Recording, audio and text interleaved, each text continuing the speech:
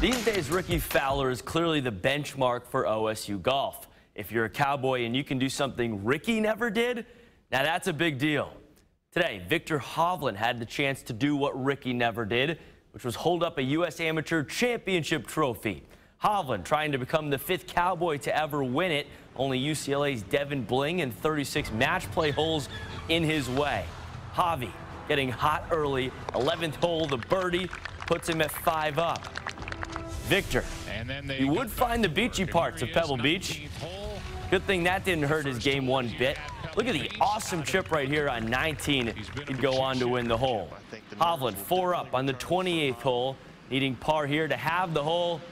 He is clutch with the putter. Jump to the 31st hole. Bling now needs this long birdie to fall to keep the match going, but it's long. That means Hovland wins it six and five. Gives a nice big hug there to OSU head coach Alan Bratton. Viktor's the first Norwegian to ever win the U.S. Amateur Championship and will now get to play in next year's Masters and U.S. Open. I want to play professional golf and uh, I, I want to be successful and um, this is obviously a really really cool stepping stone. I have a lot of doubts. I doubt myself all the time and uh, is a good thing to have behind me to know that okay I, I am capable capable of doing stuff like this. Lots of Twitter love for Hovi after the win. Mike Gundy right here. Nice message tweeted out from Jack Nicklaus. And then look, even OU's Brad Dalke taking the high road, the Sooner tweeting out congrats. Speaking of Mike Gundy, he announced his quarterback pecking order tonight and did so with a sureness about Taylor Cornelius being his starting quarterback. Gundy said he's been amazed by how quickly grad transfer Drew Brown and true freshman Spencer Sanders have picked up the offense. At the start of camp, it really sounded like those guys could challenge Cornelius for the starting job, but lately, the questions really just become who's Cornelius's backup? Well, it's Drew. Drew's the backup. Um, Spencer is just a little bit behind him due to maturity. Um, so we, have got him as one, two, three right now, and, and Keondre's at the four. In 13 days, Oklahoma's defense will finally be able to fully put that Rose Bowl nightmare to bed. A college playoff game that we remember an embarrassment for OU's defense, allowing 54 points to the Georgia Bulldogs. OU's defense clearly needs to improve from that. Last year, the Sooners ranked 81st in yards allowed, 52nd in points allowed per game. Defensive coordinator Mike Stoops said this defense is the youngest he's had, but it's also a very talented, deep group, and it sounds like a pretty confident one. I think our motto is just proving to ourselves that we can be that top five defense in the country. You know what I mean? Just coming out each and every day, putting the pieces together, and just putting it together as a whole. Uh, I feel like we if we just all play as one, which I feel like we we we've been doing, I just feel like we just do that on a consistent basis. Basis, we'll be able to stop anybody in the country. Earlier this week, TU football announced that on September 15th, mark your calendars, anyone who participates in the Alzheimer's Awareness Walk will get free tickets to that night's game against Arkansas State. It's a great thing the school's doing.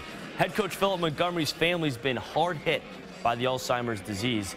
He and his wife Ashley have worked hard to raise awareness about it and recently energized the school and the city to team up to fight the disease. My mother has the disease, and, and it's a killer. We know that. This is, for Ashley and I, this is our way to fight it. For some teams, the high school football season starts this week. For Muskogee, they'll have to wait a little bit. The Roughers don't start until August 31st. Muskogee will be looking to get back to their 2016 form when they reach the 6A2 semifinals.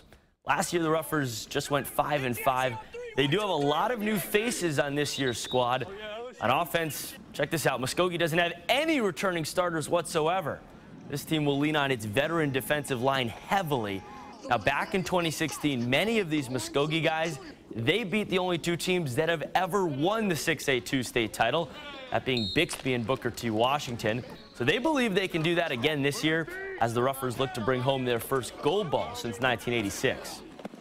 We know that we've done it before, so we just got to stay focused, stay together, you know, be humble, and just just know that we can do anything we put our minds to. We know that those are the teams to beat if you want to be in the district race or if you want to be in the state championship race. We want to be in that spotlight as well. A lot of people are doubting us because we're young and inexperienced, but I feel like with our hard work, we're going to go out there and surprise a lot of people.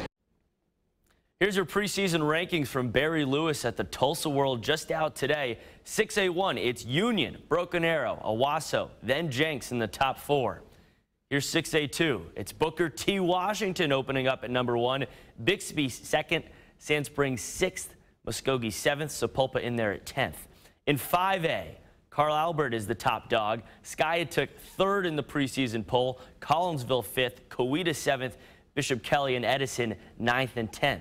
And finally, in 4A, Wagoner, even though they didn't win the title last year, number one to start the preseason, Catoosa fifth, Oologah sixth, Bristow ninth, and Hilldale in at 10th.